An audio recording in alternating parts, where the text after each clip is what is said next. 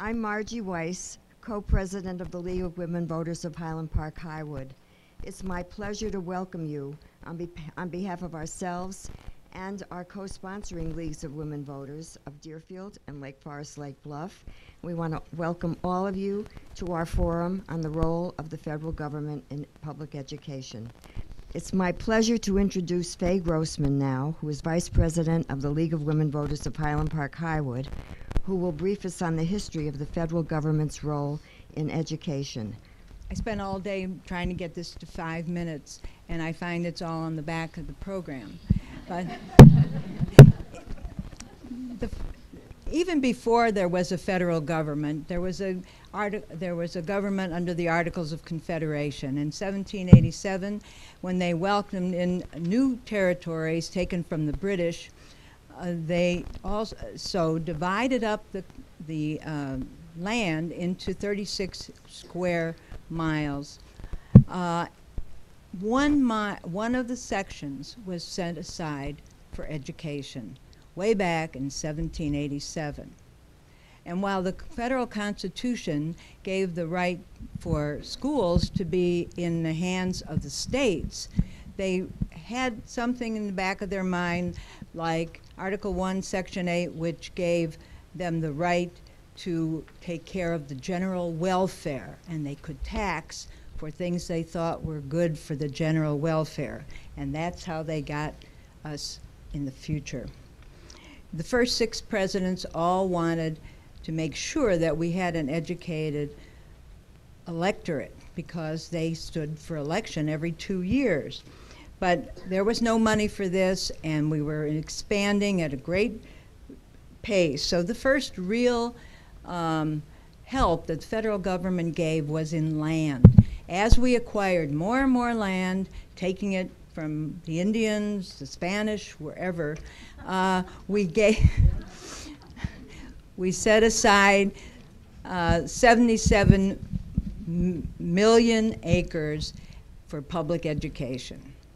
Um, nothing else was done until after the Civil War and during the Civil War. The 1862 Morrill Act uh, established land grant colleges, and many of you went to the University of Illinois, as I did, and uh, that is a land grant school, uh, as well as most of the Big Ten. And all they had to do was establish an agricultural school, which they still have, and the ROTC to help train officers in the future armies. Uh, then after the Civil War, we had 13, we had three new amendments to the Constitution, 13, 14, and 15, which gave the former slaves uh, citizenship, uh, freedom, citizenship, and um, the right to go to school like anybody else. So this already began to force schools to expand their uh, programs. Uh, in 1867, the first Department of Education was founded. And in 1890, when the frontier closed, as we know, that was the end of the free land, um, they decided that vocational education and industrial arts and things of that sort were good for the um, country because we are now going into the industrial revolution. In 1917, vocational education was added to the programs. And in 1941, when school districts were impacted by the children of service people, the federal government began to give money so that um, these uh, communities would not have to take the full burden. And uh, Highland Park, Highwood, uh, I think in Lake Forest too, is still um, impacted that way. Um, then after the First World War, we decided to um, fundraising for more um, home ec students and industrial arts for children uh, in the high schools. And, and then there was a, a, a lull until um, after World War II when 8 million American service personnel used the GI Bill to be uh, educated in universities, colleges, trade schools, whatever they uh, needed to do, which gave us a huge um, base of um, educated young people. Then another quiet time until um, 1958 when Sputnik went up and the United States got a little scared. And so we decided to fund uh, money for teachers for science, math, and foreign languages. Um, then um, in um, 1965, we got Title I, which gave money for uh, schools and for reading, uh, even into the Catholic schools. Uh, as long as they didn't have them in the same building, they could teach reading and get federal funds. Um, then there was a Rehabilitation Act, which um, uh, um, said that children um, who were uh, physically or mentally uh, developmental or had disabilities had to be educated, which is another um, fee for the schools to um, pay for. Um, then small things like the ETS was given the uh, right to make national surveys. And President Clinton came up with a program. Uh, he wanted to close schools that weren't performing. Uh, he wanted the end of social promotions. He wanted to um, uh, make sure parents knew what their schools were doing. But his program did not fly, but most of it was incorporated in No Child Left Behind with George W. Bush. And that's the law that is now under consideration for change. And um, uh, President Obama was going to reauthorize it, but um, this has been um, stalled in Congress like everything else right now. And um, so here we are, and the future is here. Uh, our speakers um, are going to tell us what's coming up for education and the federal government and your tax dollar. Uh, I want to introduce Rosemary uh, who's going to introduce the speakers. Thank you, ladies and gentlemen, for coming tonight.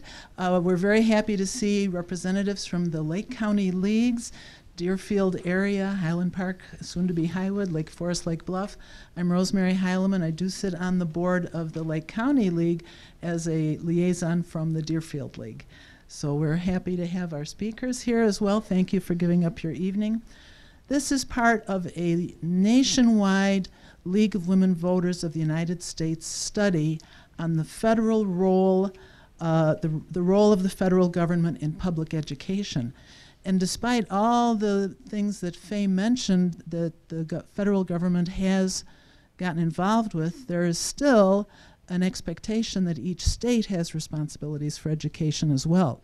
So the degree of involvement in the federal government has been an ongoing and interesting uh, conversation in this country. We have three distinguished speakers tonight. Uh, the first one is Ralph Martire, who will be speaking on funding and equity in education.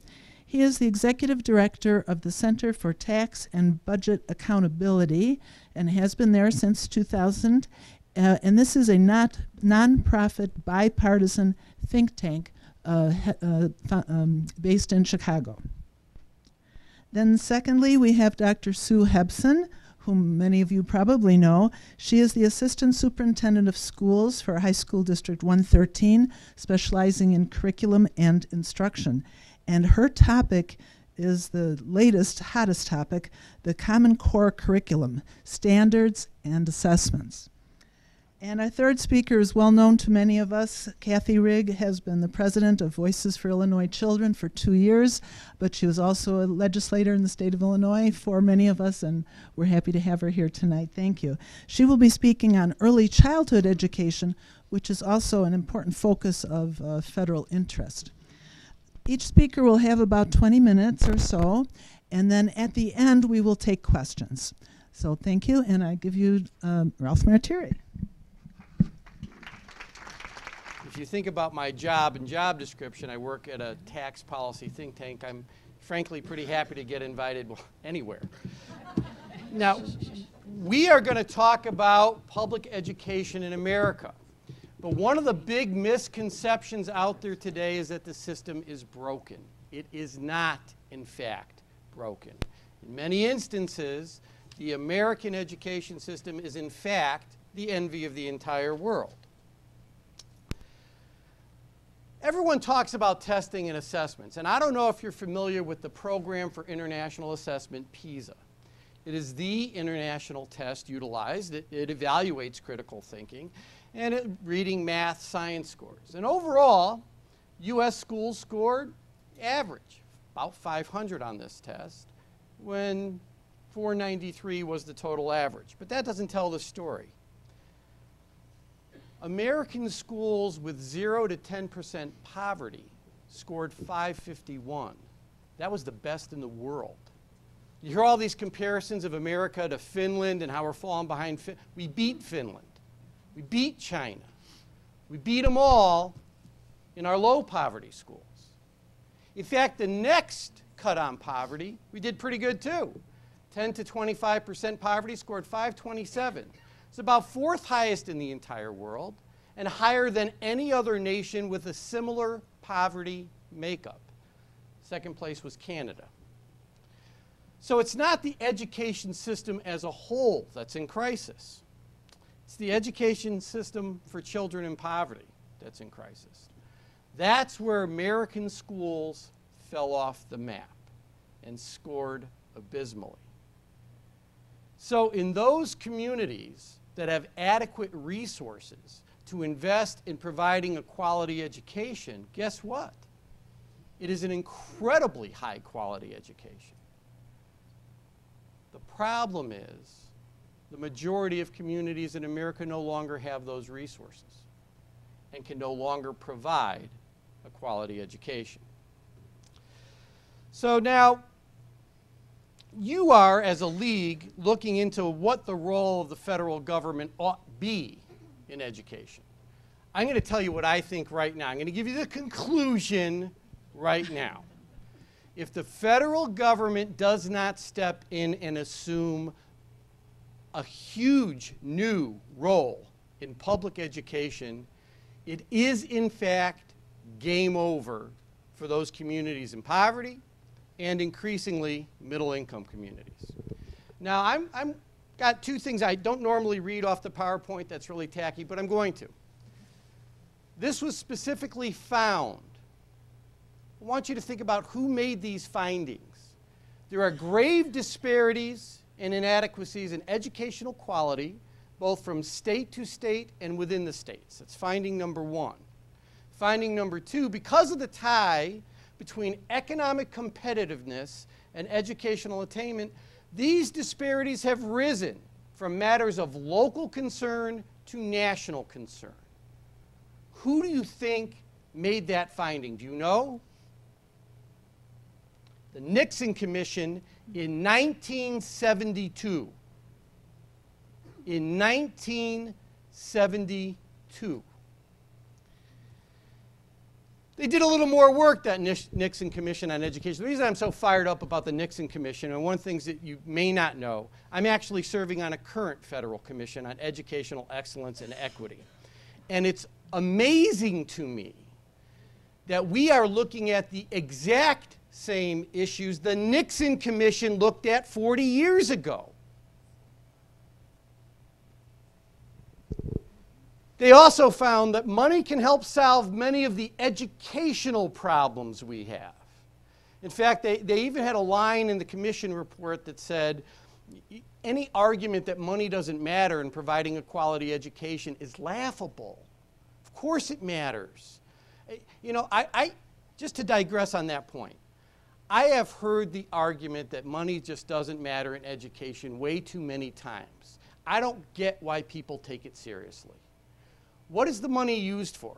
It's to buy teachers, academic program, technology. Those things cost. You want an extended school day? That costs. You want quality pre K? That costs. It's not like they're taking money and giving it to the school system, and the school system buries it under a rock. It costs to buy the inputs that constitute a quality education. So, money matters. Nixon Commission also found that educational funding at the state level is too tied to property taxes and is rarely connected to the educational needs of kids. Really? Boy, we fixed that one, huh? Better yet, they found states have the responsibility to reform the system. And they said, states, go out there and eliminate these discrepancies. Go out there and pass reforms so that you can fund a quality education for every kid. The Nixon Commission directed the states to do that in 1972. How's that been working for us? Yeah. Yeah, one other interesting finding in the Nixon Commission. When the scope of the problem or the achievement of the solution is beyond the political or financial capacity of the states, the feds should step in. I think the states have demonstrated they have neither the political will nor the fiscal capacity to fund a quality education for every child. We've known what nation at risk, Nixon Commission. Do we need another report? The bottom line is this is a national concern. There's a complete tie between your ability to be competitive in a global economy and your educational attainment. And if we systemically deny a portion of our population, increasingly low income, middle income kids, the opportunity to learn the skills they need, they won't be viable economic units in this new economy. And they'll fall behind, and they have. So, I want to drive the home point on how bad the states are by focusing on a really big and rich state and what it has done. And guess what state that is? Illinois. Yeah. Or you, I think we should change the state name to Alabama after I'm done with this. What is education competing with in our general fund budget? This is historically what our state government has spent its money on over the last 35, 40 years. Look at that. Education, health care, human services, public safety. That is nine out of ten dollars. So th this is where education has to fight. It's fighting for dollars against health care, human services, and public safety. Right now, it's the top priority in the general fund in the state of Illinois. So it is our state's number one priority. But here's the problem with our state's funding for it. We don't have enough money to invest, and so we keep pushing the responsibility to local property taxes. Here's why.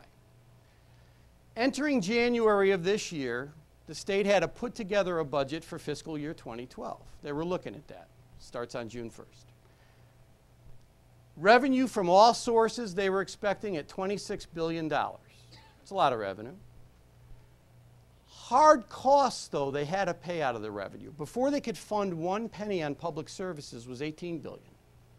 This is debt service, pension obligations, oh, and over $6 billion in past due bills left over from the prior fiscal year.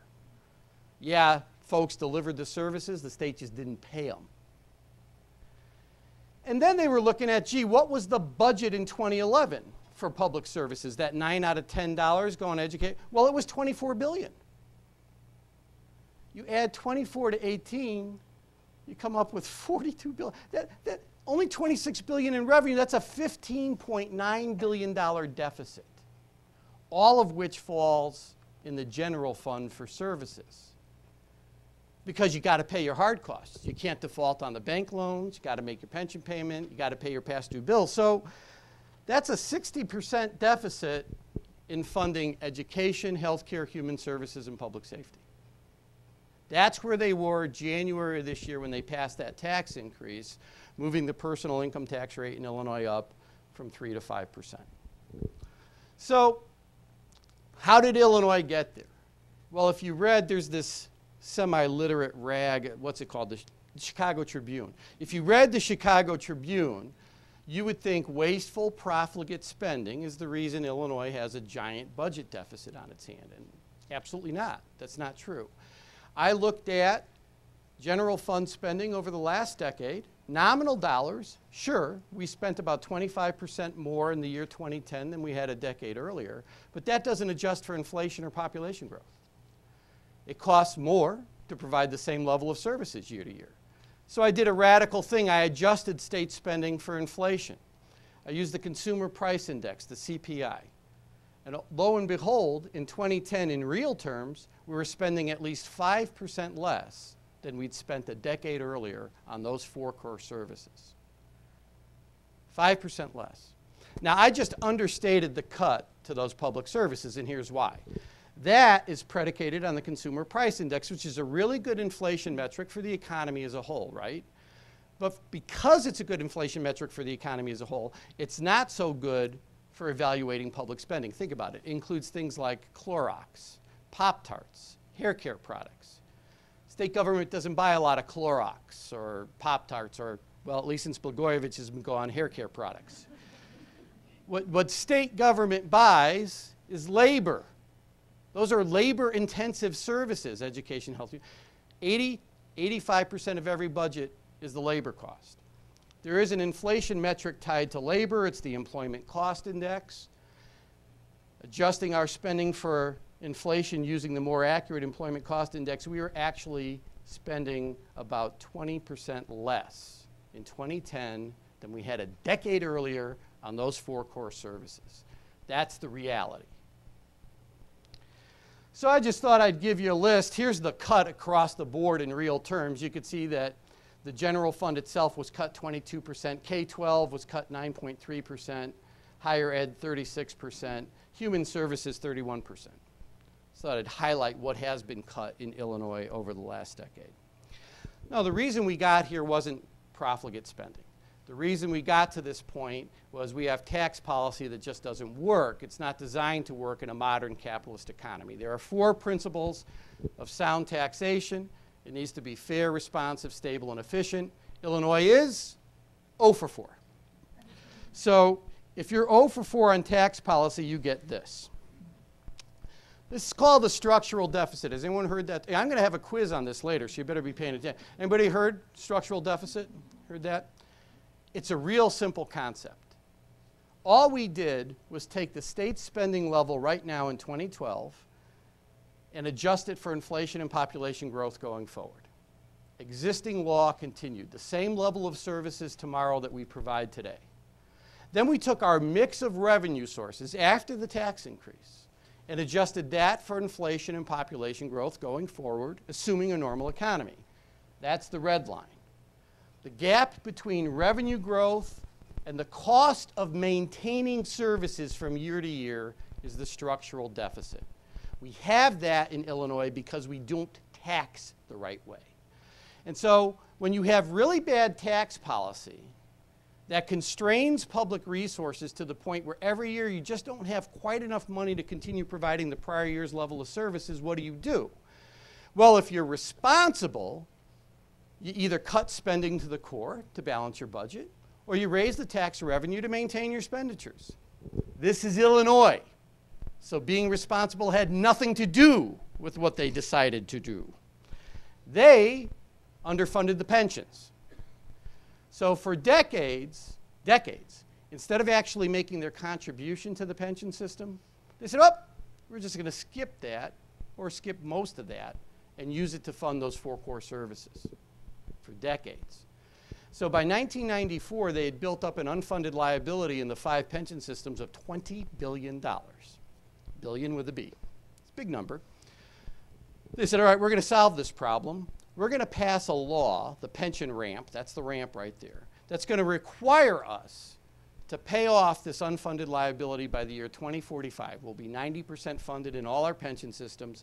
And these are the annual increases in, in future years every year to year to make up for that difference. They passed a new enhanced payment requirement and didn't pass a nickel of revenue to pay for it. Really? Who thought that would work?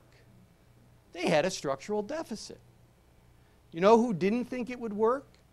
The legislators who passed that bill. Because in the first 15 years of the pension ramp, by law, they didn't make their full pension contribution into the system. They codified their irresponsible fiscal practice. So by law, they grew that unfunded liability from 20 to 45 billion dollars in 2008. And then the market crashed and we lost half the value of the assets we had invested in and it went to 85 billion overnight. That's the fiscal system in which education funding in Illinois has to compete for dollars. It doesn't work and it's bankrupt going forward. Is that unclear? So, the new tax increase. We went from 3 to 5 points on the income tax raising 6 billion. We increased the corporate rate from 4.8 to 7 to raise another 770 million and then we took away a couple of corporate tax breaks, one temporarily, one permanently. Total of 7.2 billion dollars. That's what we're getting in new annual revenue. Now, what's the problem with that? What was the hole? Almost 16. So after we passed this, and my organization said this at the time when folks were coming back saying we've solved the problem, we've saying no, you've left an $8.5 billion deficit in your general fund. That's where we are today. Now, I do have to deal with some of this corporate silliness. So, we increased our corporate tax rates, and then a number of wahoos, and by wahoos I mean the governors of Wisconsin, Indiana, and New Jersey, came to Illinois and said, now that you've increased your corporate income tax rate, your businesses are going to run to our states. Really? Our new rate is 7% for businesses. Then it drops down by 2015 to 5.2. The current rate in Indiana is 8.5%, more than our new rate has been for decades. Current rate in Wisconsin, more than our new rate. Current rate in New Jersey, a lot more than our new rate. And who questioned him on this? Absolutely nobody. So the media let him get away with this silliness. Illinois is just trying to pay its bills. The truth about this state's tax policy before that tax increase, we were one of the lowest taxing states in the na nation. Numbers. We have the fifth highest population, fifth highest GDP. We ranked 44th in total state and local tax burden as a percentage of income. 44th. We ranked 43rd in spending. So we're a big population state, we're a big economic state, we're a very low tax and low spending state. We can't even afford our current level of low spending. We have a structural deficit that guarantees future cuts. So I just gave you some of this data, so I'm going to jump. Oh, by, by the way, our economic growth, despite being low tax, has lagged both the U.S. and the Midwest by a little bit for a long period of time. This is from 1990 to 07, pre-recession. You don't want the Great Recession to muck things up.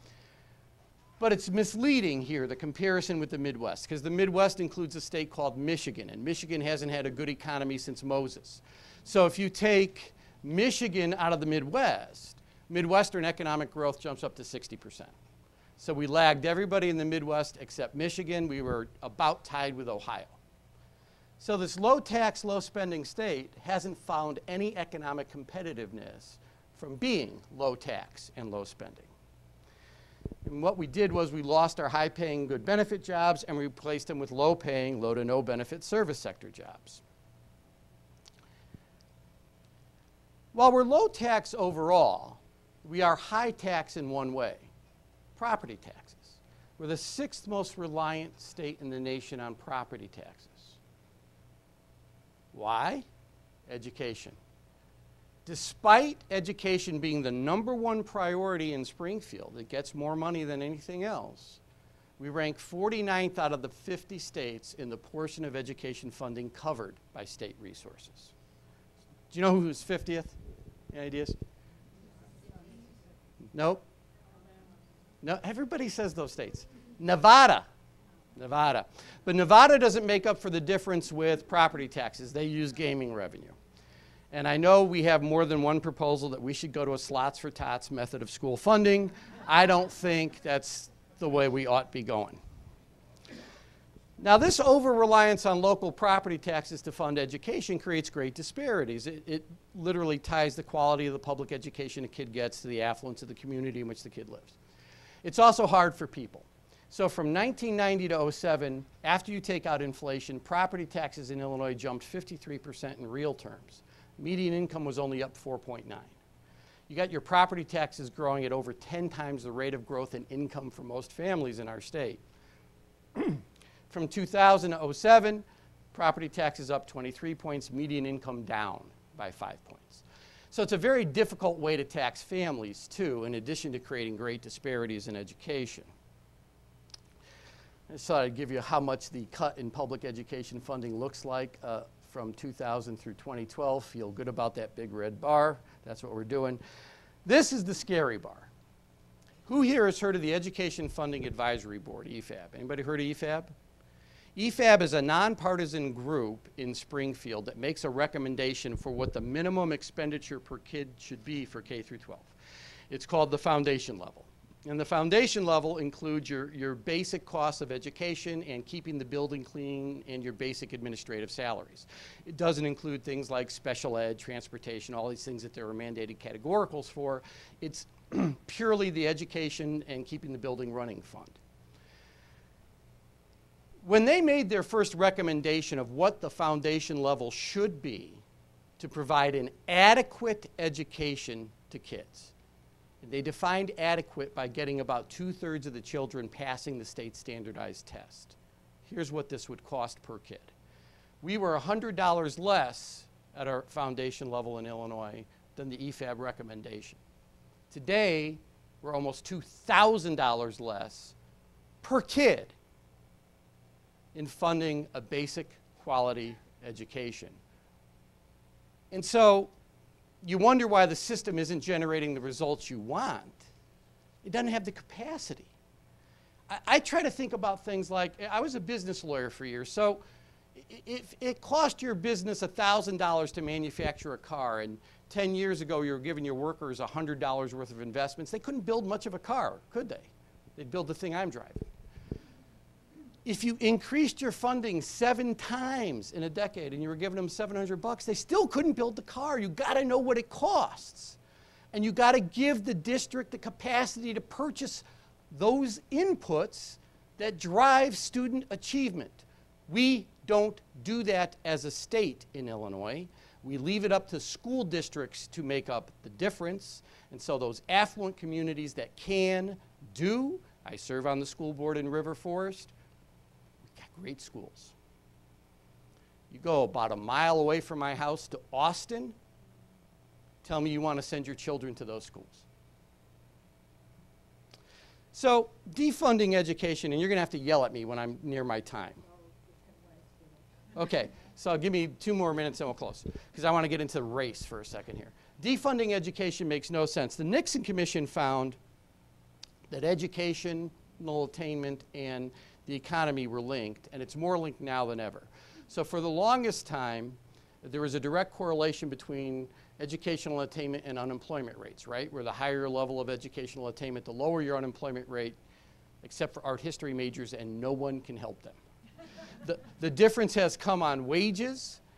Now there is a direct correlation between educational attainment and wage, so much so that the only cohort of workers in Illinois since 1980 who have seen their incomes increase at a rate greater than inflation, so a real increase in purchasing power, actually have a college degree. Every other worker has seen their income decline after inflation over the last 30 years. So you got to learn to earn. But we in Illinois are disinvesting. We also know our wage gap between whites and minorities is getting worse. So the wage gap between whites and Latinos has grown. This is from 1980 to 07, taking out the Great Recession by 40%, 39.7. Some neutral labor market forces at play and some discrimination. The neutral labor market forces, you've got English as a second language issues, you've got an immigrant population willing to take low paying jobs. You actually have the youngest and least educated cohort, Latinos, in our entire workforce, also indicia of taking lower paying jobs. How about that wage growth between whites and blacks in Illinois of 126% since 1980? As far as neutral labor market forces, I got nothing.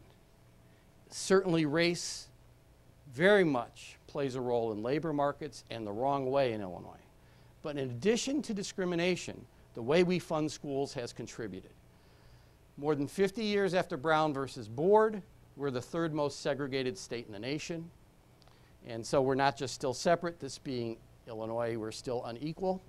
With minority districts on average starting off with over $1,100 per kid per school year, K through 12, to spend on education. And our starting point is almost $2,000 below the cost of inadequate education. So effectively, our fiscal system is structurally racist. It has singled out African American kids for an underfunded education.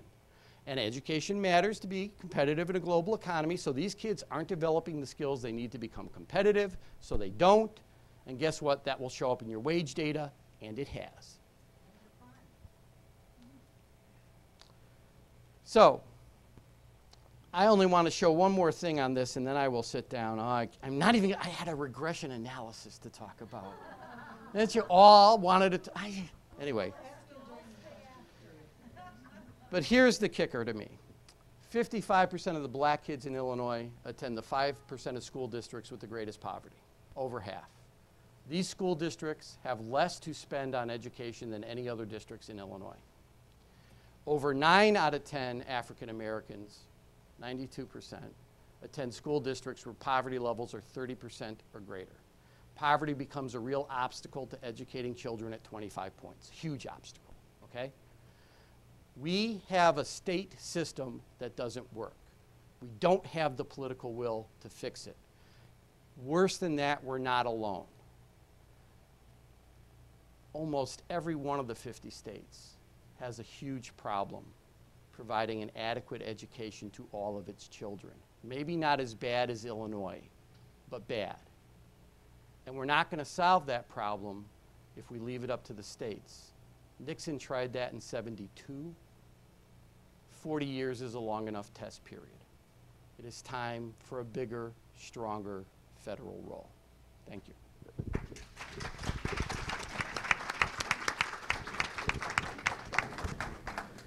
Thank, thank you very much, Mr. Martire. A uh, lot to think about in the funding issue. Now, as Monty Python used to say, for something completely different, there's the question of, well, if uh, the money's coming from the federal government or if there are going to be national standards financially, then what are the schools going to be teaching? Does the person with the buck get the right to tell you what you're going to teach and do they get the right to assess it? So uh, Dr. Sue Hobson is going to talk about the Common Core Standards and Assessment and what is being proposed uh, for the future. Okay, thank you. Um, actually, Ralph's presentation is is very connected to this one insofar as some of the rationale or some of the realization about those types of issues and problems as it pertains to student achievement is exactly the reason that there has been a Common Core uh, movement and an initiative. Um, Faye talked a little bit about some of the state history. There is a great deal of history related to just standards in general. Um, in our field of education, there are a lot of different organizations who have been highly invested in um, creating standards, documenting achievement. Uh, for instance, A Nation at Risk is a uh, dated now uh, presentation that spoke to um, reading and math again, and you'll see um, the Common Core is based at this present time on uh, English language arts, literacy, so reading and writing, etc., and math specifically. So they started in the same place in a way that the Nation at Risk report um, communicated to us back in 85. Watch out, we have some work to do. There are some students who are not making progress and um, we need to understand where their gaps are and we need to act on those gaps. In a lot of ways, the presentation that Ralph just gave to you um, really creates the same picture. Um, maybe not looking at it from the achievement data side, looking at it more on the finance side, but it's the same kinds of kids and it's the same kinds of reports uh, that basically are waving a white flag and saying, hello, anyone out there, let's really pay attention. So all of the other efforts that you see are other kinds of initiatives and reactions and responses to that reality of an achievement gap and a desire to ensure that all students can succeed. When we, when we moved into the, the No Child Left Behind era, the philosophy behind that type of an approach and a response to, again, this achievement gap makes all the sense in the world. You want to ensure that all students are successful, and one of the key ways to ensure that all students are successful are to not give a broad sweep of 80% of our kids did well on this state test, 84%, 88%, whatever that big broad sweep is, but rather pay attention to subpopulations. Um, some of the schools that have continued in, in Illinois to achieve AYP actually don't have subpopulations. And so that's one of the key reasons that they continue to achieve AYP despite the fact that the, the level of, um, of academic achievement continues to go up on, a, on an annual basis. But as an educator, we're very open to, um, to wanting to ensure that all students can succeed and to uh, the data analysis that we've learned is a really important part of that achievement. So, in other words, bring on the subpopulation data. We're looking at our own subpopulation data. Um, and so philosophically, some of the um, legislation related to No Child Left Behind, I think, was really important to the entire nation because it was that wake-up call for a lot of different systems um, to not just say we have great schools because in general, students were doing well, students might have been going to college, et cetera, but very specifically, who is doing well and who is not doing well, and what are you educators going to do about it? What are we going to do about it? When you look at the Common Core standards, one of the key things that uh, became a part of the thinking there was really what the title suggests common. Um, uh, an intention to ensure that the entire nation could, in fact, say that they can provide a quality education for all students and not leave that definition of a quality education up to a classroom teacher or to a local board or to a local community or to a state. Um, they wanted to be able to say that across the nation, we have um, the desire, certainly, to be globally competitive. We have the economic need to be globally competitive.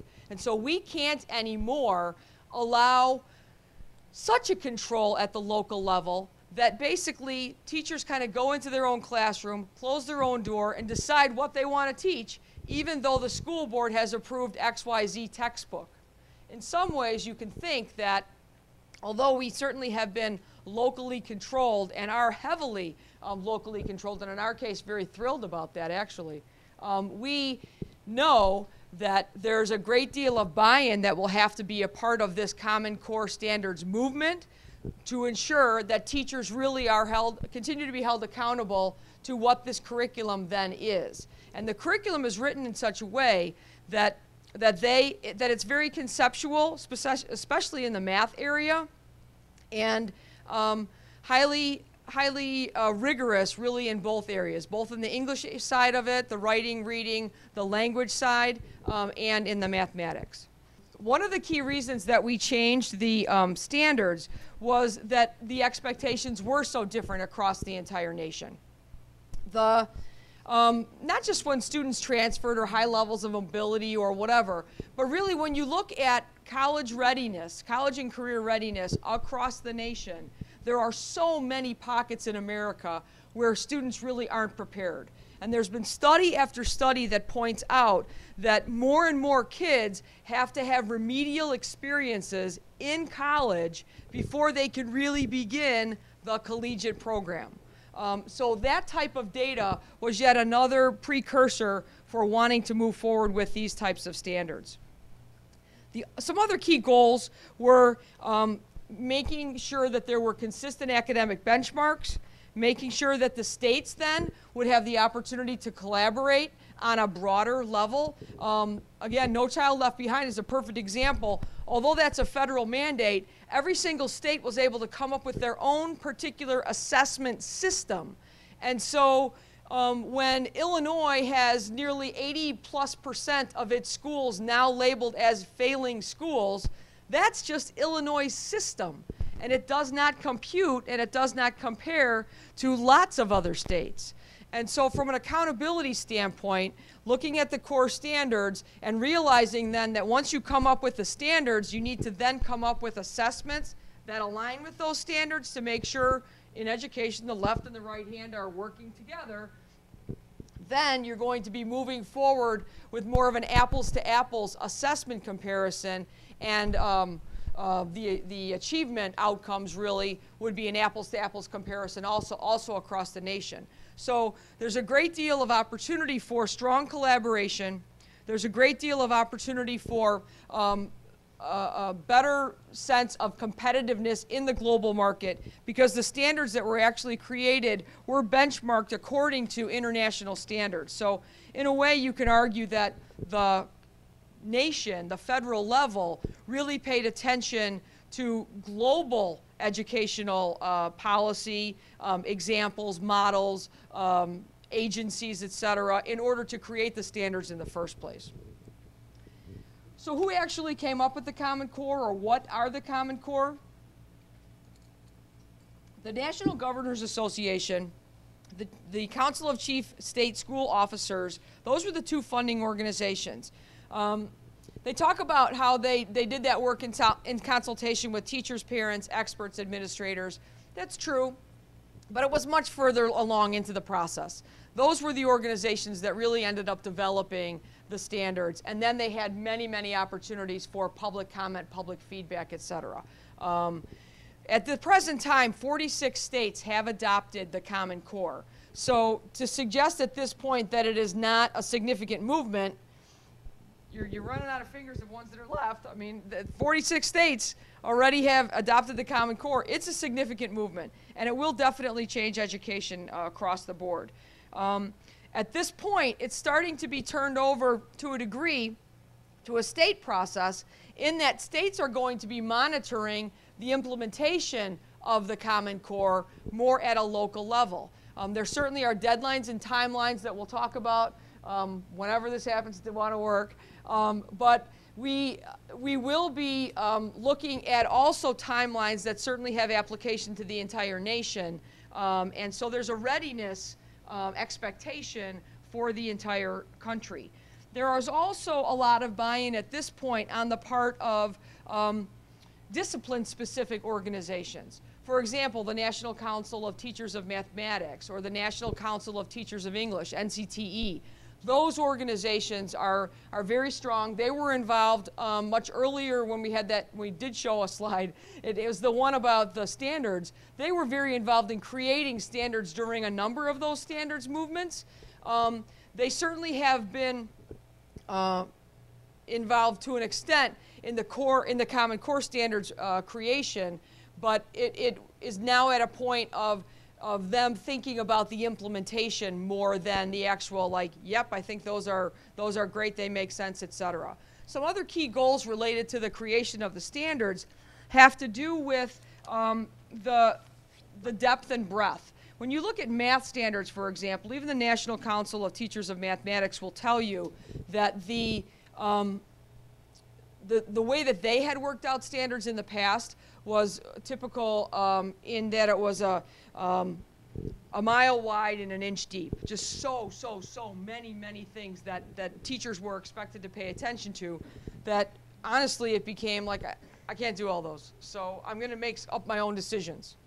And again, that went into that level of teacher autonomy. Like if you feel like it's, it's a losing battle in the first place, you're not going to feel that there's a sense of accountability or expectation tied to it. So you're going to kind of make up you know, do the best that you think makes sense um, within your district, within your uh, course team, et cetera, et cetera. So the standard criteria for creating the Common Core was that they wanted to ensure that they were aligned with college and career readiness, They wanted to ensure that they would be user friendly. They wanted to be to ensure that they would be consistent across all the states, that they would include both content and application of higher order thinking skills, and that they would build upon the strengths of top performing um, nations. Again, that comparison globally um, was important to them. And then finally, the evidence based research was another important component. There's a great deal of research that, that is sort of supporting and is behind the definition of the Common Core standards. From a systems impact perspective, um, the immediate impact is for teachers who are involved in teaching mathematics and English language arts, as I've said. Those are the two disciplines where the core is already created. It's written, it's done, it's ready. Um, it's at the stage now where the, the expectation for districts is that they will be um, aligning their current curriculum with those Common Core standards and defining an implementation plan. As I said before, it is, however, promoted as a state-led effort. So phase one basically was adoption 2010, 2011. Phase two, now, uh, coming up uh, next year, 2011 12, continues the design and implementation system, continues communication with community members, et cetera, and continues resource development. And then finally, phase three is a transition um, toward the implementation of new statewide assessments, which are expected to uh, be written and ready in 2014 2015. Some interesting things about that assessment information. ISAT and PSAE, the Prairie State tests, at the present time are, are, will continue in Illinois to be in place until 2014, 2015, when that new Common Core system will be in place. Um, the Common Core assessment is designed to be uh, pretty unique, something that educators uh, like myself has not really seen in the past. When you think about Prairie State, and we've done that for, for years and years, um, whether it's at the grade school level or the high school level, that has always been a single measure type test. It's the, the one or two days that the kids take the exam, and, and that's, that's the test, that's the score. One of the key thoughts about this assessment instrument for the Common Core and a key change is that it will not be a singular measure. Um, in education, we talk about formative assessment instruments and summative assessment instruments.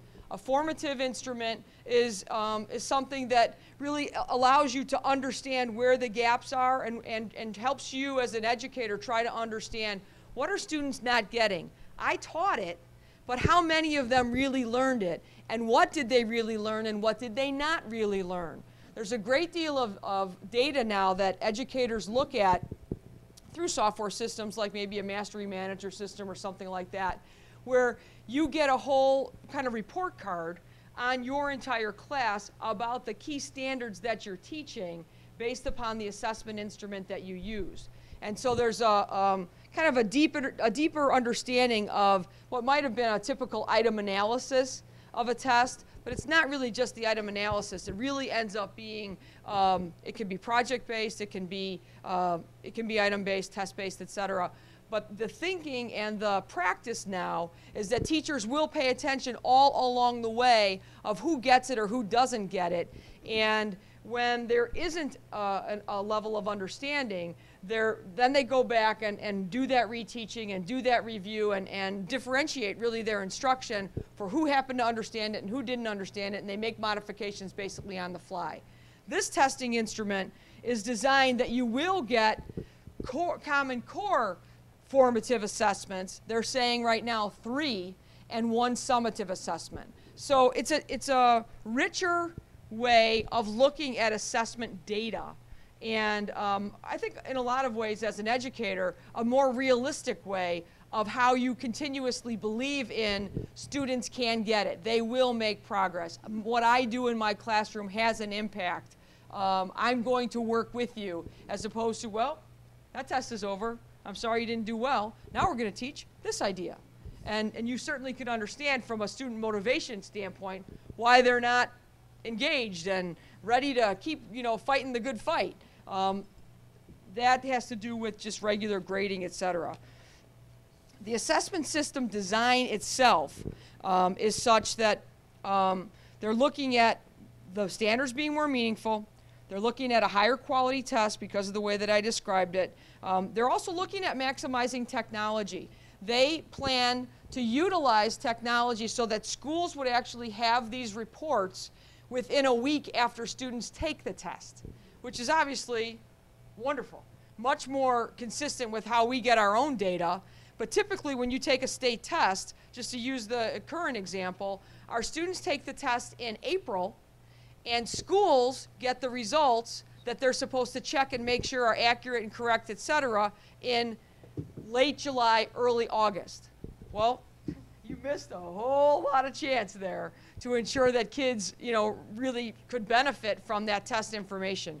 They're already then into the next school year, different teachers, different classes, different everything, and so it, it's it's sort of this um, uh, analysis as to why the why the patient passed away almost, as opposed to um, you know let's let's see wh- what what is the type of protocol that we can um, implement in order to help to help you get it. Some other key things to talk about in terms of the Common Core. There's still a lot of things that we don't know. Um, we don't know exactly what the new assessment will look like, although we have some insight into some of the pieces and, and some of the philosophy behind it. We don't know what type of technology will be needed, for example. Uh, we know that they want to make it technologically based, but we don't know what type of technology the school will need. Um, we don't know when other uh, disciplines um, Common Core will be written and will be completed. We know that social studies is on the list, and we know that science is on the list, but we don't exactly know when those will be completed.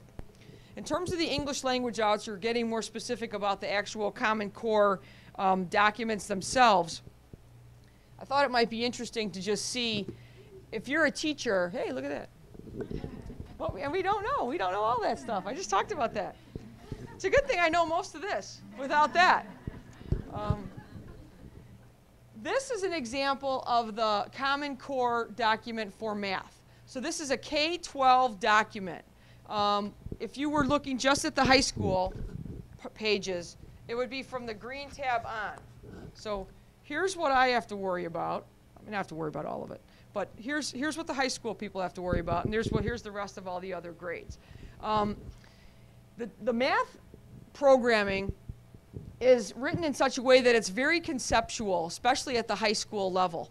Um, they don't end up writing, um, you got some information here that you might want to take, take a look at. They have, for instance, algebra and geometry standards together. They have, for instance, um, the concept itself much more so than in this course you will learn um, sort of what the old math standards said. You know, this particular item, then the next item, then the next item, then the next item. It was literally kind of death by multiple items. Um, that packet that I just showed you, there certainly is a great deal of an expectation that schools will be articulating with one another and their programs will be um, carefully aligned with the Common Core so that as a kindergartner literally moves into a first grade, literally moves to second grade, literally moves to third grade, each grade level is standards based. And so rather than allowing, again, a regular classroom teacher to determine what that curriculum is, by the end of that year, these are the mastery expectations of that kindergartner, and those are all written out. Um, so in a lot of ways, it's somewhat of a shift in the philosophy of um, promotion uh, within a school system as well. When you look at the, the timeline for um, additional disciplines,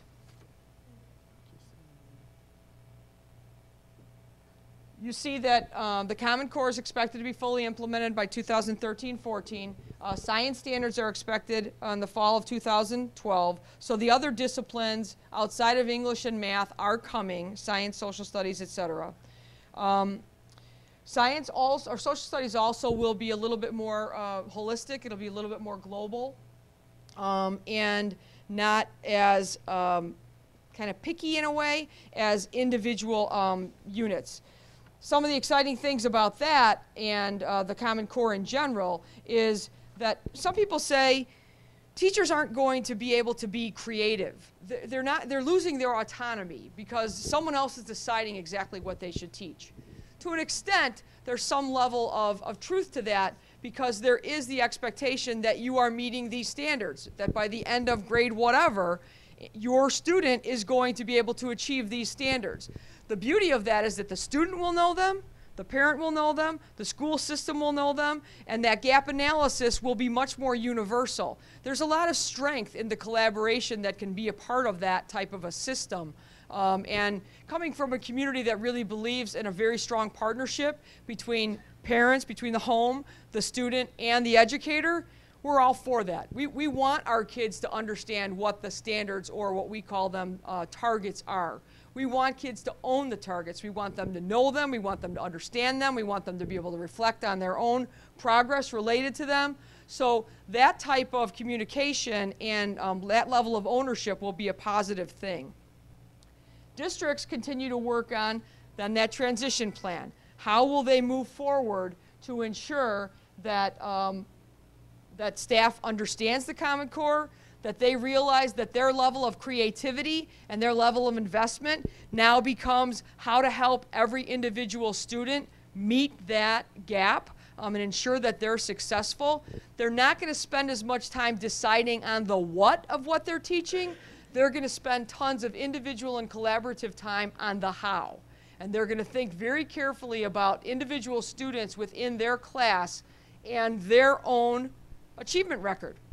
Where, what areas are problematic and what areas do they have as a slam dunk? How do I continue to bolster some of those weaknesses? And how do I um, uh, complement and motivate the student for some of those strengths?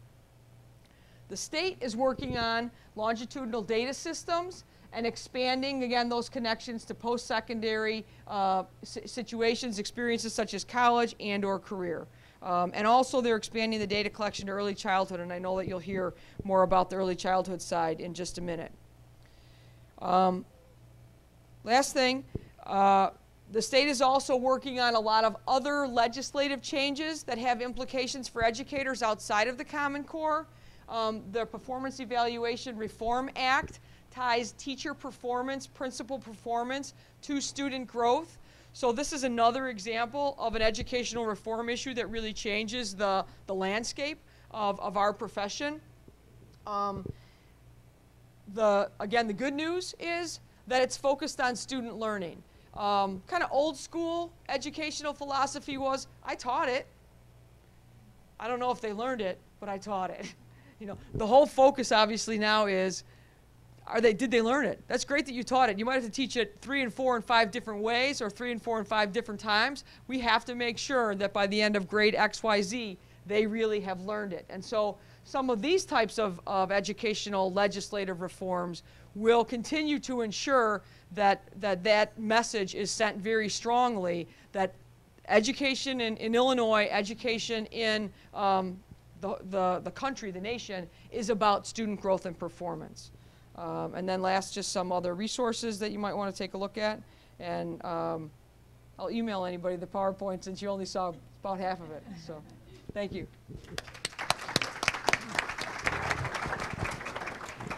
Thank you, Dr. Hobson. You really uh, were on your feet today without the uh, PowerPoint, so thank you for doing such a fine job. There's a lot of what you've heard that I, I will try and help you connect to the importance of early childhood in achieving all of the things that Ralph and Dr. Hobson spoke about um, today. So, um, I mean, and I, will start with, I'll actually start backwards. Um, your process of reaching consensus as the League of Women Voters on what position to take on the role of federal government in public education. When I received this in my newsletter, I was overwhelmed with the depth and the scope of the work that the League is taking on. And if anyone's up to it, it's the League because that's your reputation of doing all the due diligence and the research before taking a position. But I was very grateful to see that my part of the program was the last two questions out of this very complex issue. And what happens in our conversations as we work um, at Voices across all issue areas that affect all age ranges of children, when you talk about education and the reauthorization of the Elementary and Secondary Education Act at the federal level, people relate to different aspects of that complexity in a way that it quickly becomes overwhelming and hard to know where to even start, and all the elements of funding equity and the Common Core standards and the teacher effectiveness and the assessment process start to have people's eyes glaze over.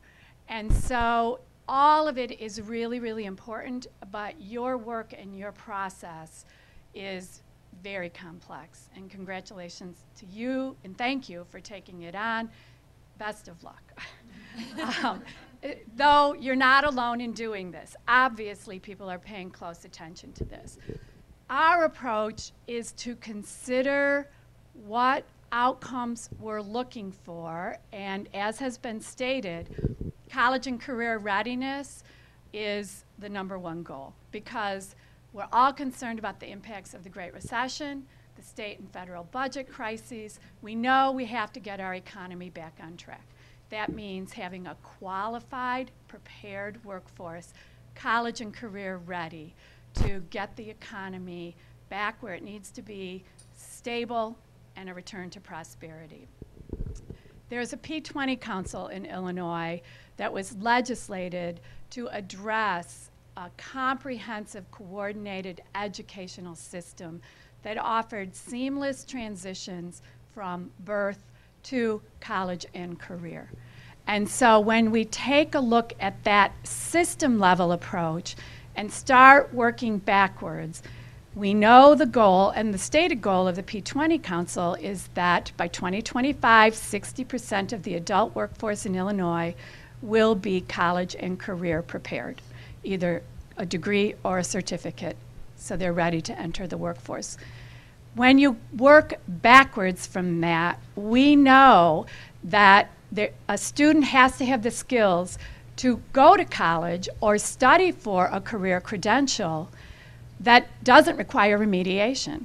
That's an astounding complexity in our educational system that means kids are going to college and spending their year, their tuition dollars, and our taxpayer subsidies to make up for what they don't know. You go backwards from that college and credential readiness to high school graduation rates and opportunities for students who didn't manage to graduate from high school to return to school somehow eh, um, to, so that we offer some alternatives to dropouts so that they can achieve that goal of college and career readiness you work backwards from graduation rates, and the ACT test is currently the measure of college readiness.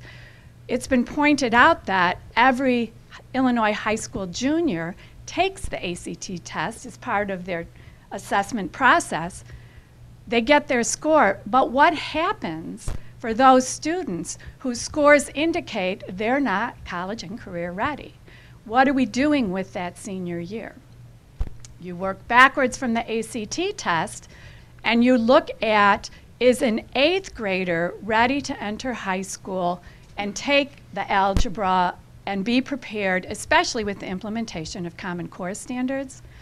When you look at the transition from elementary, middle school to high school, you have to go back to did that student have the reading skills that were needed for them to be able to learn. So, third grade reading levels are a key indicator of all of this success because the research tells us up until third grade, a child is learning to read. At fourth grade, they're expected to have the skills to be able to read to learn. So, it's a benchmark, again, that we have to be looking at. And we know, going back, that the transition from preschool into kindergarten and those early ele- elementary years is very key because we know access to high quality early education programs are an indicator of a child's entering school ready to learn. There's an initiative in the state that's working on kindergarten readiness assessment that will help the elementary school level educators know that their students are really ready to learn and will be able to achieve that third grade reading level that's so important. We know that early childhood education has been a hallmark of Illinois' work. And it's important that we look at, at how this all comes together in terms of what the science and the research and the data tell us. And that's a trademark of the work that we do at Voices. We try and transform. We work very hard to take the data, the science, the research, transform it into a message that can be understood, articulated, and repeated. So that not only the policymakers get it, but that the political will is generated by the general public to be able to convince policymakers why it's important that the investments are made in the areas that the research tells us produce the best outcomes for kids and are most cost effective for the state and produce the college and career ready students that will lead us back to economic stability and prosperity. So I'm going to kind of focus all of this together in talking about what the data tells us, a kind of quick snapshot reinforcing what we've heard of where we are in Illinois, and then what is currently going on at the federal level that impacts all of this. So um, I get to give you the good news about the research that says that investing in families that can support their children in ways that they feel safe, secure, have access to their, their daily living needs in terms of shelter, food, clothing, and care, that those investments are key to a child's being able to enter school ready to learn. And that, some of the most compelling research comes from Dr. James Heckman, who is a University of Chicago Nobel Laureate Award winning economist. And I stress economist because you would expect a child development expert or an education expert to be moving in this direction. But his research documents and demonstrates that supporting children from their very earliest years, and he's now talking about not just the children, we have to help their families be ready to support their children, that those investments actually produce a 10% return per year in increased personal achievement and social productivity a 10% return on investment if we invest in early childhood care and education opportunities. We also documented the return on investment here in Illinois in collaboration with the early learning partners um, from the Ounce of Prevention Fund and Illinois Action for Children. So, Voices, Action, and the Ounce commissioned a study called the Wilder Report that documents that preschool not only prepares children for success in school, but produces up to $530 million in annual savings and revenue in Illinois, which is actually a return on investment greater than the investment that we're making. So we know that these investments pay off what could we do with an extra $530 million in revenue or savings? Our own research at Voices is based on the Kids Count Data Book, which is a snapshot, a state of the state report on how children in Illinois are faring. And our 2011 book, and this is available on our website, is called Graded 8. And we're looking at the, the opportunities in pre birth to third grade to really look at the whole child and stress the need for investments in the whole child and getting them to be ready at the time that they enter school, having the skills and the supports that they need. And what's really important is that we know it's important to look at not just readiness to learn and school achievement, but the social and emotional development as well, because it's the whole child that we have to focus on, not just the siloed effects of their age ranges and their experiences. So currently, we are very challenged in putting that solid research and data to good use because of many of the things that Ralph talked about, the impact of poverty. So I will give you some of these numbers, and again, you don't have to remember this. Our website has these fact sheets with all of this information. But this tells a story that we have to pay attention to. The 2010 census data, which was recently released, tells us that there are 600,000 Illinois children who live in households with an annual income of $22,113 for a family of four. Currently, that rate is 19.4%, one in five kids. And that's an increase from 16.6% in 2007, the pre recession figure. 22% of kids age six are living in households who meet that poverty criteria. And that's important because those early learning years are when brain development peaks. And we have science that can demonstrate that through MRI brain scans that shows the difference in brain development for children who have family support, a nurturing environment, and the stimulation that they need in their, their physical, cognitive, and social and emotional development. All of this translates to the highest poverty rate for children since 1993. It's projected based on Brookings Institution an- analysis of previous smaller recessions that even when the recession is declared over by the economist, which we're not so sure that they really declared it over, or it's been declared over and June of 2009. Nine, yeah. So find people who believe that, Ralph. The rate will continue, the rate continues to climb when the recession is declared over. So the economists have looked at the factors and declared the recession over.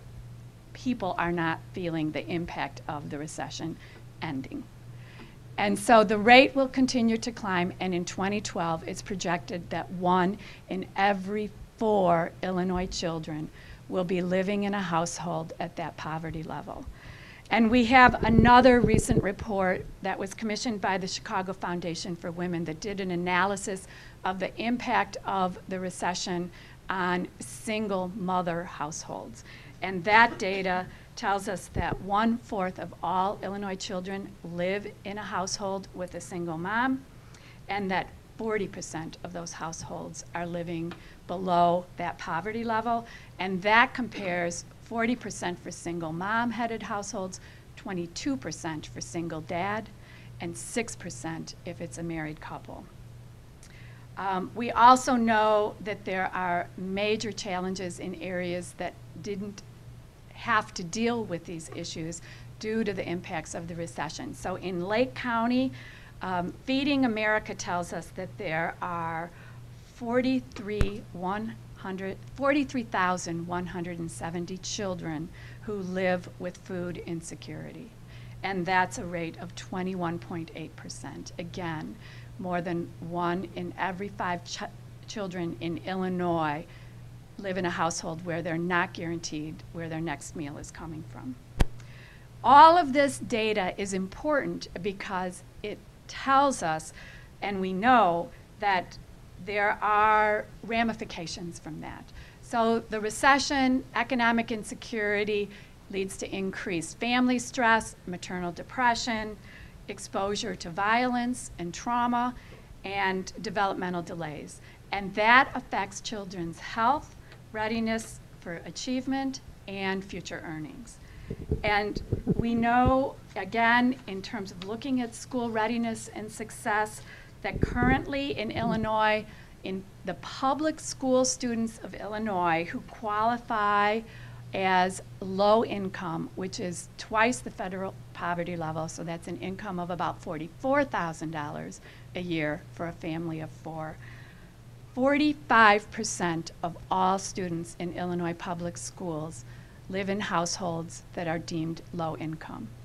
And in six of the uh, state's largest school districts, including Waukegan and including Chicago, that rate is 70%. 70% of their student body is challenged by issues as a result of poverty.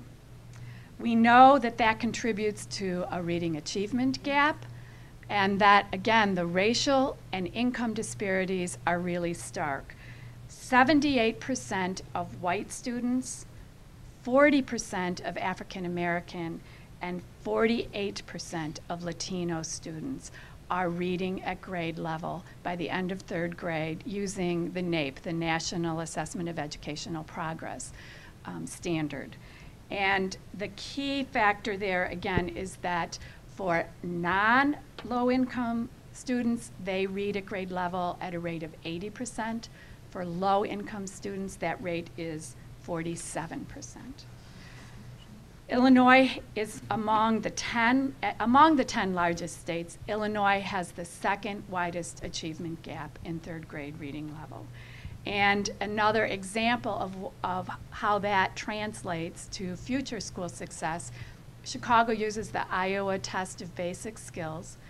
And when you um, look at third graders reading at grade level, um, those students who are not at grade level, 45%, only 45% graduate high school within five years of starting high school.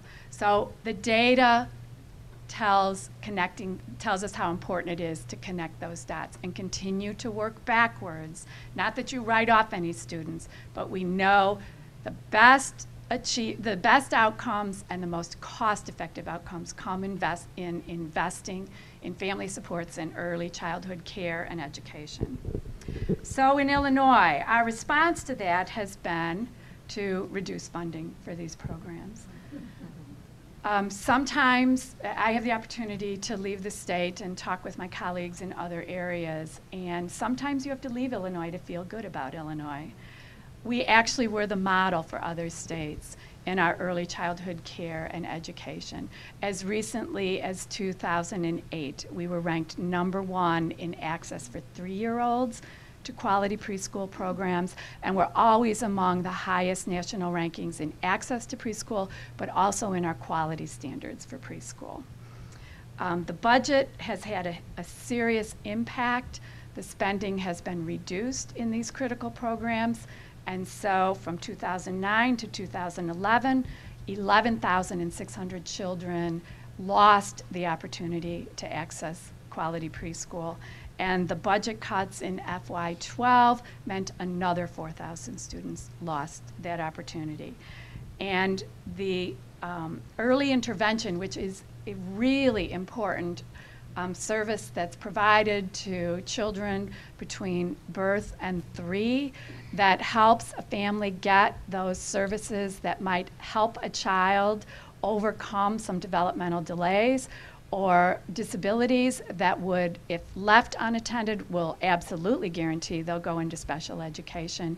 Early intervention often provides the supports at a critical time in the child's development to actually prevent some of that special education placement and cost. Um, those services have been reduced significantly so that thousands of infants and toddlers no longer have access to the services that they need. The Early Childhood Block Grant, which funds the, the preschool programs, was reduced by 5% in the last budget year.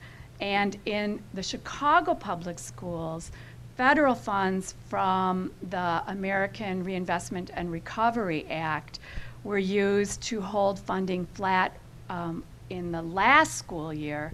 This school year, they've been able to keep the funding flat um, so no children lost services by using Title I funds, which are funds that are dedicated to children um, from low-income households. So, knowing all of this and knowing how uh, challenged Illinois is in doing the right thing, which the laws are on the books, preschool for all is there. Early intervention services have been in place since 1985 because Illinois recognized the need to meet the needs of high risk kids. Um, all of that being given, uh, uh, being the given for where we are in Illinois, we really do want to look at the role of the federal government and the opportunities that are being presented in Illinois and being used in Illinois to fill some of this gap. So some of the uh, recent, uh, recent report from the Brookings and Urban Institute tell us that uh, nationwide, the federal government accounts for one-fourth of total public spending on children ages 6 to 11 half of the spending on children ages three to five, and three quarters of the spending on children birth to two comes from the federal government. And in that birth to two category, that federal funding comes in the form of Medicaid, the Earned Income Tax Credit, the Child Tax Credit, the WIC, and the SNAP programs. Now, if you follow the federal debate in the healthcare, WIC and SNAP are often federal programs that are assuring access to food and um, to the meeting the basic living needs of infants, toddlers, and small children through those programs, and they're often uh, raised as entitlement programs where spending should be reduced. Again, research tells us absolutely the wrong thing to do. So in Illinois, we've had the benefit of um, $300,000 to early learning uh, to the Early Learning Council, which is the stakeholder group of experts that convenes in a public-private partnership to address early learning, early childhood care and education opportunities. So through the ARA funds, um, the Early Learning Council has been able to receive money to implement innovative models to engage hard to reach families. So there are federally supported programs in Early Head Start and Head Start that help children um, in addition to the state preschool for all program. And we're finding that eligible children are not enrolled in the programs. There's a disconnect between the existing slots and the kids most at risk who need those slots. So efforts are underway to develop some innovative ideas, some using best practices, looking at what other states are doing to ensure that those hard to reach families and kids have access to programs that are in place for them. Um, now, this most recently, these last couple of months, there's been an award to Illinois of uh, competitive maternal, infant, and early childhood home visiting program funds. Um, we will get $12.1 million over a four year period to enhance case management to first time um, teen mothers who participate in home visiting. There's an innovative opportunity to bring in doula services to support, especially those teen moms, single moms, to know, to, so that the teen moms know the right things to do to support their infants. And there's a, a fussy baby program that is proven through work at the Erickson Institute to really address the difficulties of dealing with special needs babies, and sometimes not just special needs babies, but stressed parents who need that extra support. Home visiting is one of the earliest steps we can take to support families with um, infants, toddlers, and small children. So this is a very exciting opportunity to take federal dollars, invest in Illinois proven programs, and meet the moms who have the highest risk. We also have several stakeholder groups that are working in an interagency collaboration through the Office of Early Childhood Development, which is out of the governor's office, the Department of Human Services, the State Board of Education, and the Home Visiting Task Force of the Early Learning Council.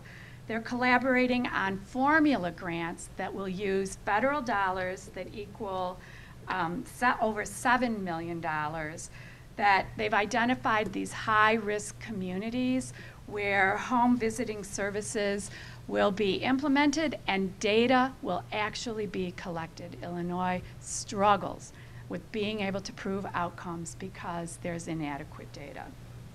Um, We're also looking at an application that's been submitted, and this is breaking news. This application uh, was sent to the federal government just October 19th, and there is money through the Early Learning Challenge Fund. You may recall Mayor Emanuel announced a major early learning initiative that is, looks at quality ratings of the early childhood programs and offers a web portal. He's proposing to offer a web portal that parents could use to explore programs in their neighborhood and know the quality ratings for those programs. That was part of the Early Learning Challenge Fund application that will fulfill the purpose of the federal grant, which is to improve quality of early learning and uh, close the achievement gap for children with high needs. So there's a complex application that's available online if you have an interest in getting more.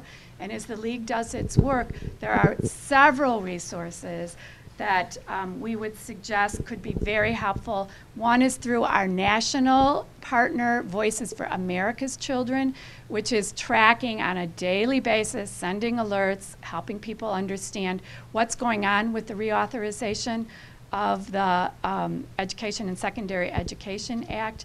We have been targeted in Illinois because of our leadership, Representative Biggert and Senator Kirk in particular. We've held town hall meetings. We're supporting Representative Biggert in her bipartisan legislation for social and emotional learning. And all of these updates will track the actions in Washington that are important to the work that we're doing here in Illinois that will talk about why the federal support is so important in using the states as their, the opportunity to set the standards, measure the outcomes, and lead to good, positive outcomes for the kids so that we get back on track through that whole sequence of events for college and career readiness. So thank you very much. Thank, oh, I I have this one. Um, We have time, it's about a quarter to nine, I think we're going till nine, are we? Uh, For a few questions, are there some? I think, is this one on, because, Working now. I think it's, your, your thing is working now. I'm looking, but if someone's got a question, maybe. They can have one of ours. Tell me, ooh, tell me, and uh, I'll restate it for you. Hello. Uh, Ralph, I'd like to ask you, you had a great deal to say about what we're doing wrong on tax policy. I'm sure that's correct. What should we be doing? What is the blueprint for the correct tax policy to foster good education in America? Well, anyone that wants a detailed blueprint uh, for what the state of Illinois ought to be doing, go to the Center for Tax and Budget Accountability's website, go to the Funding Our Future report, and everything you've ever wanted to know about tax policy and how it works is right there in, I think, eloquent prose.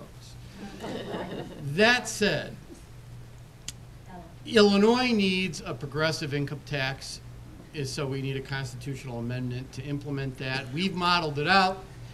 If we went to a progressive rate structure with the top rate at eleven percent for millionaires, uh, that's what other, other top rates are across the country. The effective tax rate on millionaires would only be four point seven percent after deductions. Ninety-four percent of the state would get a tax cut, and we'd raise three point six billion more and the high effective rate would actually be four point seven percent. That's number one. Number two, we need to expand the sales tax base to include services, consumer services. Uh, newsflash, sixty percent of the private sector economy is services. Our sales tax doesn't hit them, covers the sale of goods. That's only twelve percent of the economy. You, you can't leave the largest and fastest growing segment of your economy entirely out of your tax base and balance your budget. So that's number two. Uh, Number three, we would want to target some tax relief to low and middle income families in addition to the rate structure, uh, because that will stimulate the economy. Uh, Low and middle income families have for a long time had flat or declining incomes. Since the recession did officially end in June of 2009, wages are lower now than at the lowest point of the Great Recession. We have fewer jobs now than at the worst point of the Great Recession. Corporate profits are up $460 billion. So at the federal level, what we probably need to do is raise taxes on affluent people, undo the Bush tax cuts. Everyone talks about, you know, getting the federal deficit in control. And by the way, if they do that, we're going into a depression. So if they stop federal deficit spending now, America goes into a depression, not a recession, no question, because we're not creating jobs in the private sector. Uh, Forty-two percent of the federal deficit today is the Bush tax cuts and the interest on the debt to finance the Bush tax cuts. So why that's not on the table is beyond me. And, and since low and middle income families have been having flat or declining incomes since 1980, uh, giving them some tax relief targeted will free up their income to spend, and they will, and they'll spend it in their local economies. So that's the tax package. For the state, expand the sales tax base, go to a progressive rate structure, uh, tax some retirement income for those seniors in the room, you shouldn't get a free ride anymore. Uh, Tax some retirement income, and then provide targeted tax relief to low and middle income families. At the federal level, tax rich people a lot more. Thank you. I probably don't need a, uh, a microphone. Ralph's, uh, website address is www.ctbaonline.org. And if, when he's done with the Equity and uh, Excellence Commission, he'll be putting, we can count on Ralph to put out a document and possibly hold an event to talk about his experience. I've put some green sign-up sheets out there, if like to your email address and and things you can find out when that comes out. Can you repeat that?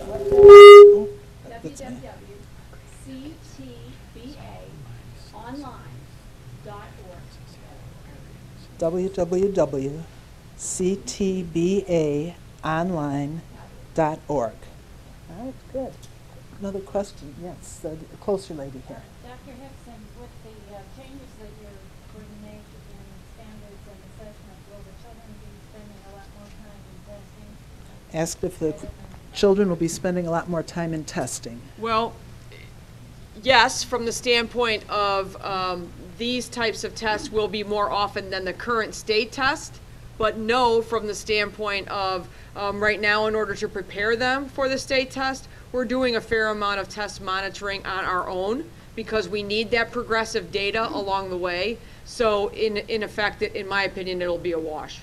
Someone else kind of doing the testing um, but getting us the data in such a timely manner, which will be so different than what we're used to, that we can actually use it and then peel back some of the instruments that we're using on our own. Right. Somebody back here? Yes. Yeah, I have a question about the, assessments and the Common Core standards.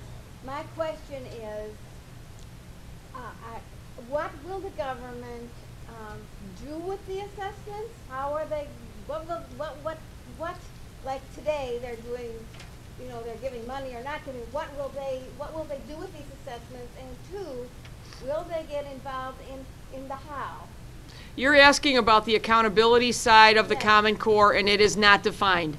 That was one of the slides that you didn't see that had four question marks in the corners. That part of, of it is not defined.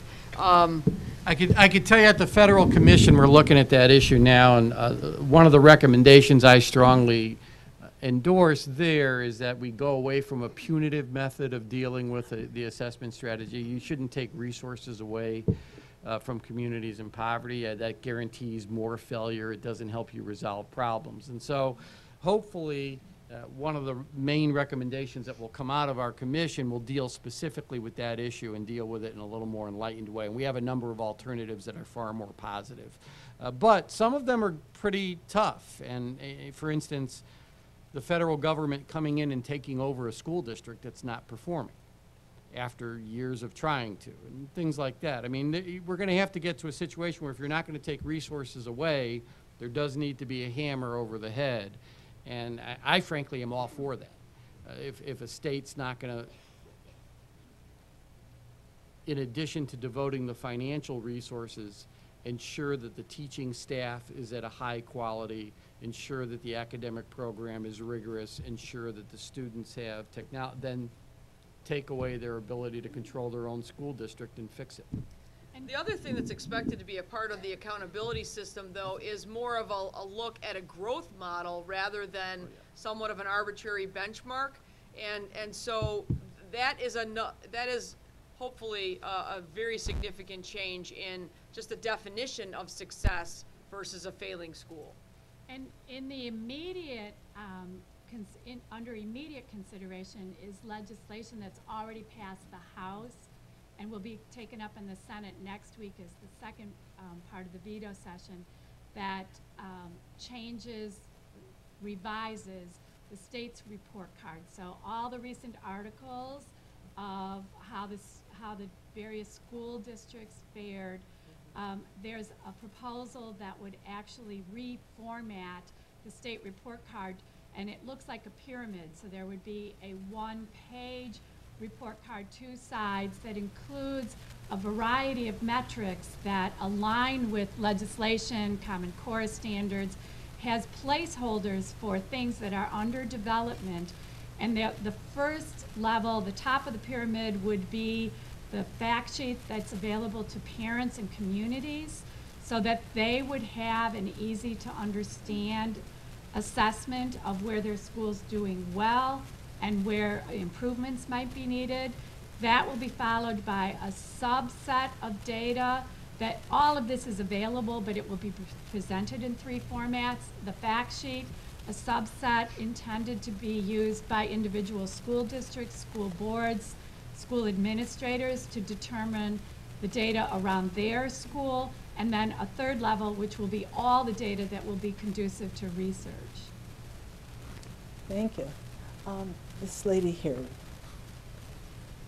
in all of the talk, you know, through the years of No Child Left Behind and everything, with the focus on assessment, achievement, et cetera, there's not as much talk about the learner as I would like, it's more about the teachers and the outcome, and what I don't understand as a teacher, when I was a teacher, if I'd been in that kind of atmosphere, the things that make children learn, that is to stimulate their curiosity and their creativity and their critical thinking, these things, if, if a teacher can, can help that emerge in a child, the child, you can't hold them back and they're gonna learn everything. The, the creativity, the curiosity, the feel of learning, and the critical thinking skills. Somehow this other atmosphere seems detrimental, and how can, how can the learner be, be immersed in that very atmosphere and, and environment that will have them do the? The, the lady's asking about the atmosphere and some effective qualities uh, that teachers feel might be lost with the emphasis on standardized tests. Yeah, I mean, there, there's no doubt about that. I think, I think educators um, get very concerned about a, a singular measure or um, even just utilizing great achievement data as the measure of a school's success. You know, Deerfield and Highland Park High School, we're very fortunate that, that our achievement data is actually ex- exceptionally strong. And yet, uh, in conversations that we have with our community, we continue to try to expand their definition of what a successful school does and what does that really mean and try to provide a holistic look at that educational experience, much like what you're talking about in terms of ensuring that a student's personal passions are, are there for the child. Uh, There are opportunities that they can learn about themselves, leadership opportunities, et cetera, that, that, not to suggest that the academics are not significant, they certainly are, but to ensure that you're really looking at an educational experience in a much broader, more holistic way. And our test orientation within the nation makes it difficult to expand that conversation. The, the P20 Council work, which is an emerging group of stakeholders, again, legislated to look at the entire educational experience of a child, is very cognizant, and the school report card is a product of this work. They're very cognizant that you can't look at educational achievement in the silos of um, teacher performance evaluations and data and assessment and test scores. It really has to be comprehensive and one element has to inform the other. And legislation has recently been passed that sets up elements of that, and that's what the school report card will reflect. So there's the performance and evaluation, I forget the, the name of the act, Review Act. Mm-hmm. That was very significant reform that tied teacher performance to student outcomes in an attempt to say it's important to have effective teachers in the classroom. Well, again, working backwards, work has to be done in teacher preparation programs to ensure that teachers are trained. Principal preparedness now includes attention to uh, early childhood education. So I would encourage the league in the work that you're doing to, to be focused on that as what is the need of the child versus you know, how do we look at education formulas? How do we look at test scores? How do we look at teacher effectiveness? But it really needs to be put in the parameters of what's in the best interest of the child and then work down from there. And that doesn't happen unless you ask the question. Because in the work of the P20 Council, the Data Assessment Committee set up a school report card subcommittee, and it immediately went to, well, the teachers weren't so crazy about this metric about teacher evaluation or teacher attendance and school climate. How do we define that? And kindergarten readiness. That's not just if a child's been to preschool. What about the kids who haven't been to preschool? So again, it, it takes being always cognizant of asking the question, what are we trying to achieve and how does it benefit the individual students? Okay, it's nine o'clock. We did start a few minutes late, so I'm proposing uh, three more questions. I saw this lady here before, and then I saw you. Yes.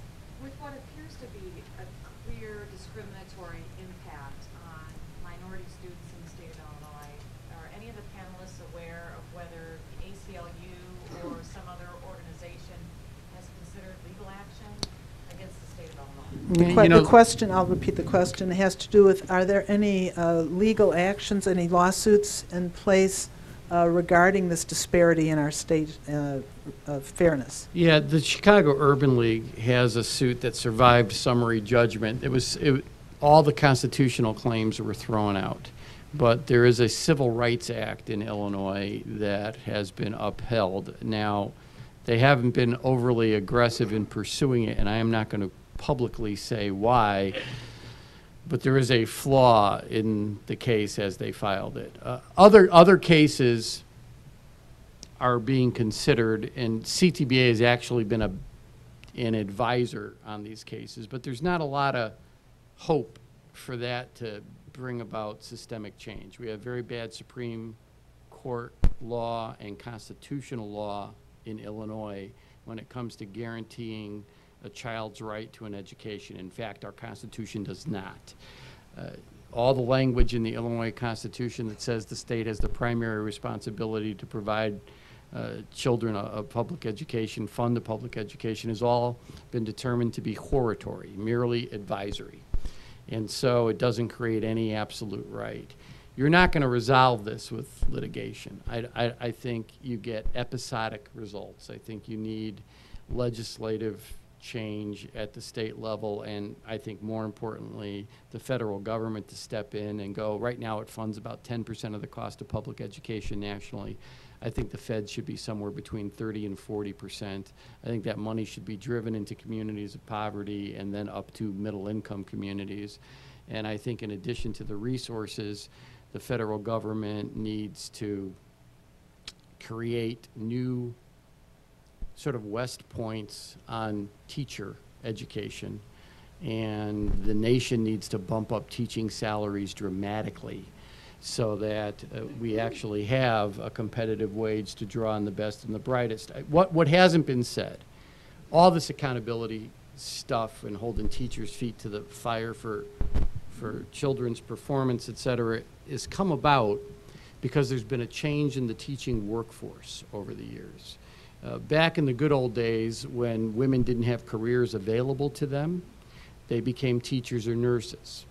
And the labor market recognized that and paid teaching and nursing very low wages because it didn't have to pay a lot to get the best and the brightest. When other career alternatives opened up to women in America that paid a lot more and were more prestigious, guess what? The best and the brightest went and did that. So now we have a, a significant pipeline problem in having really the same quality level of teachers that we had decades ago. We just don't. And there's a rational reason for it. We're not going to we're not going to solve that by trying to find new ways to say the current teachers aren't as good as they used to be. They're not as good as they used to be because we don't pay them enough to attract in that talent. And every nation we benchmark ourselves against, the Finlands, whatever, pay teachers at the top. Okay, so the, the Prime Minister of Finland, when he was interviewed about what, what do you do about getting rid of bad teachers, he said, we don't have bad teachers in Finland. If you're, if you're bad, you don't get in. So we need some big changes that don't happen either through litigation or really at the state level. This has to come from the feds. Thank you. Yes. I, I would just say one quick thing about that, and then I was a teacher, former teacher. Some of us did it because we loved it. Right. Just to make sure that. No, I- and, but it's a pipeline issue. I mean, there's been a change. I mean, you, you still get some very bright, dedicated people. It ain't like what it used to That wasn't a question. So, my question was, um, going to, um, Kathy's comments about the food insecurity, which really is all, uh, when I heard that statistic several months ago, I really haven't gotten it out of my mind.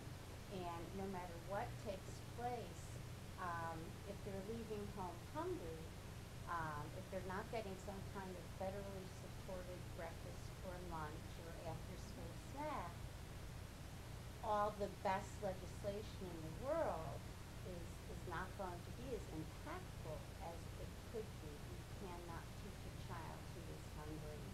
Um, so, the question becomes, how does that, how does that issue, how is that issue being addressed? So, How is so the there f- Talk about a holistic approach. Yeah. How is the hunger issue being addressed? Um, the governor recently named a commission to end hunger, and I chair the, um, children and, um, families at risk subcommittee. And there are other subcommittees looking at different populations, vulnerable adults and then, uh, adults with special needs.